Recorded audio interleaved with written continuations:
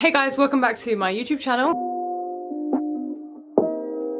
So my name is Liz Myers, I am 21 years old. I am at the University of Birmingham studying mechanical engineering and I'm in my second year. I'm very involved with uh, the Formula student team at the university called UB Racing. As of next year, my third year, I will be uh, the lead vehicle dynamics engineer for the team. The reason why I haven't been recording as much uh, since my last video was because I got really involved in UB racing over the summer. I wasn't really able to record much of the stuff that we did building the car, so it left me very little stuff to record during that period of time. As I've just finished my second year, sort of, you know, we're still waiting for the last piece of work in quarantine, uh, I thought I'd do a video that a lot of you guys had requested, um, which is just a feedback for mechanical engineering students or just other engineers, such as electrical engineers, civil engineers. It can be used for any subject that takes labs as well. I think the same advice can be applied um, to you guys. So the first bit of advice I'm going to give you guys is not to buy books. Um, I fell into this trap last year at the beginning of first year.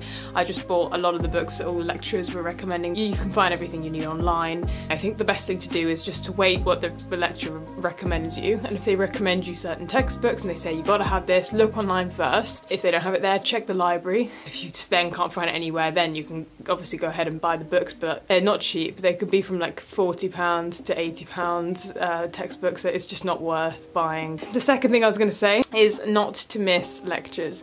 I know it's way easier said than done to not just not miss your lectures, but say you're just tired, you will fall into the trap of them stacking up and then you realizing at the end of the year there's a lot of material you have to cover. If you can at least cover the stuff once initially um, in all the lectures, then when it comes to the end of the year and you're just recapping all of the stuff, it's such an easier job than having to learn a lot of the stuff over from scratch.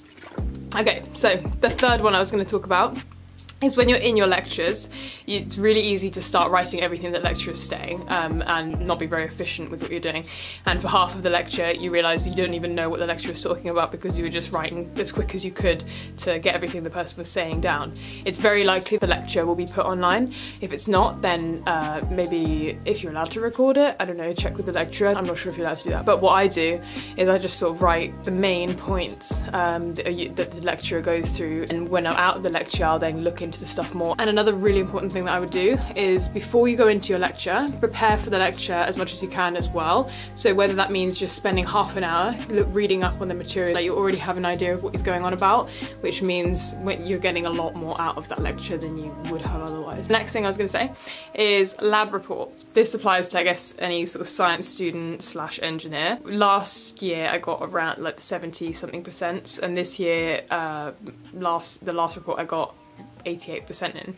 So it stepped up quite a lot and the reason for that was because I started earlier. Like that's the main bit of advice I would give you guys, start early with lab reports because yeah, it's so easy to just, you know, smash it out in two days, hand it in on the deadline day just. If you can start it a couple weeks early, you get, you know, a couple days to actually write the thing up and then you get another couple days to actually read it through and make sure that it's the best you can make it. You can then be extra keen and take it to different lecturers and get them to give you their feedback on it. The next thing I'd recommend recommend is um, making yourself known to your lecturer. Highly recommend just going along to your lecturer's office or sending them an email, um, introducing yourself and saying, you know, I found this part of your lecture interesting. Can you explain how this actually works? I don't know who is screaming in the garage. I think it's my brother. If you guys can, you know, bring them some questions that you have on some of the um, tutorials or just some questions about the lecture, um, they would probably appreciate that and they see that you're interested in their material and they'll they'll remember you for being quite enthusiastic about their course. You could get to the end of the year and obviously everyone needs their help with questions and stuff um, and they're gonna not they're gonna end up probably just ignoring a lot of the people that they barely know and they'll end up replying and saying yeah come ask your questions to people they know of being consistently uh, keen throughout the year. So the next thing I... why is this so bright? So the next thing I would say is distractions. Now obviously in first year still get a good grade but take part in whatever you want as many societies as you can because that's the year that you really can. It doesn't, most universities I know it doesn't count towards their final grade so in second year I think it gets a bit more serious to get less distracted. Um, this especially applies to when you know things get a bit more busy, you've got numerous deadlines uh, coming up and you're working on different group projects and it's a time when you've really got to just say I'm going to work on this stuff and once that's done I'll go out and see everyone and do whatever or at least prioritize the work that you have due in. I'd also recommend if you're going to get involved in a society like Formula Student 100% get involved do what you got to do but just remember that it's equally important to get enough exercise and to prioritize spending a bit of time outside of those societies to just to just have good mental well-being and to make sure that you you know are getting the most that you can out of your university experience. So with societies um, such as formula students it takes up a lot of time. Just make sure to not forget about your studies as well because it's really easy to fall in the path of missing every single lecture and then thinking you know oh, you'll catch up with it later. Um, for example after the first semester I spent a lot of time doing UB racing stuff. Like there were a few days I'd, I'd miss out of uni to just you know do UB racing stuff which is fine but I just sort of expected that a lot of the lectures I'd missed I'd catch up with over Christmas. And that meant over Christmas I spent about two weeks straight going through the stuff. that if you can, try to get through the stuff that you're missing as well as continuing with the stuff that you're doing. Another thing I'd say is don't be scared to work with people. This was something really big for me because all the way through school and whatever, I, I I just never worked with people. I couldn't focus because I'd always, I'm just the worst when it comes to getting distracted.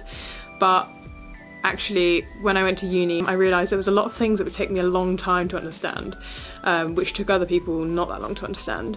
And if you can be sat with people you know learning stuff going through questions and uh, you spend maybe an hour trying to figure out the answer to a question you know you're spending an hour trying to understand a concept um, but someone across the table from you, like one of your friends, explains it to you in five minutes and that's just what gets, you know, that's what makes you understand it, then you're saving yourself so much time, you're making your revision so much more efficient by just asking that question, being like, do you understand how this works? Uh, can you explain it to me? And that saves you, uh, what, an hour per, per concept that you're confused about. It's just hugely beneficial. I, I used to think if I'm with people, won't get any work done, but it's just completely wrong. When I started working with people, it started making things a lot quicker. It'll be a much more enjoyable and efficient experience. The next thing I was gonna say is working in groups. Be expected to end up having to do a lot of it yourself. This can be really hard because you can, you know, have to balance six people's amount of work uh, on your shoulders as well as, you know, all the other modules. If you get in a situation where a lot of the people in your lab group aren't doing much, I'd probably speak to one of the module coordinators early on so that they're you know become aware of the problem that's happening. I know a lot of unis do a peer review thing so if you do let the lecturers know you'll get the higher percentage mark. If you don't let them know early on you may not be granted that so if you do feel like you're you know unfairly doing a lot of the work you probably will end up getting a higher grade but just let the lecturers know early on and show some evidence of that if you can as well. I've moved you again because the light keeps moving and I don't really want lines all over me. Last piece of advice I would tell you is CAD computer aided design. When you come to the uni you'll get licenses for different softwares and if you haven't got enough space on your laptop you just won't be able to put it on. If you've got Macs you should be prepared to boot camp them which means you can set up a Windows side as well as a Mac side as well as an Apple side. So uh, that means you can run the different softwares on the on the Windows side of your Mac but if you've already got a Windows laptop then just make sure you can free up enough space. So uh, different softwares we get is like SolidWorks. Okay, so SolidWorks is 16 gigabytes. Another one we use is MATLAB is 26 gigabytes of disk space. If you can get enough space in your laptop before joining uni, you're making your life a lot easier. So one more thing I'm going to mention is work experience. Um, I don't think this is crucial for people in first year, but it was really hard to find work experience for first year, mainly because not many places want people that are first years because you haven't got enough of the skills that places usually want. If you can get something hands-on to give you some actual practical experience, um, that will put you in a much better position for when you start your second year. I completely appreciate that it's really hard to get it um, in if you're a first year but if you can try and source some whether it's just a small bit of um, work experience it would really benefit you in, in getting ready for second year and probably in adding to you know when you go to apply for places in second year. Because of the coronavirus situation I haven't been able to go on the work experience that I had organised this summer. So so if you guys enjoyed this video, please make sure to give it a big thumbs up and message me for anything else that you guys are interested in. I know a lot of you guys have been interested in getting some advice for what it's like to be an, engineering student. These are the main things I've sort of picked up on the last year or two and I wish someone had told me these things before I started um, my year. So thank you all for watching and I will see you next time.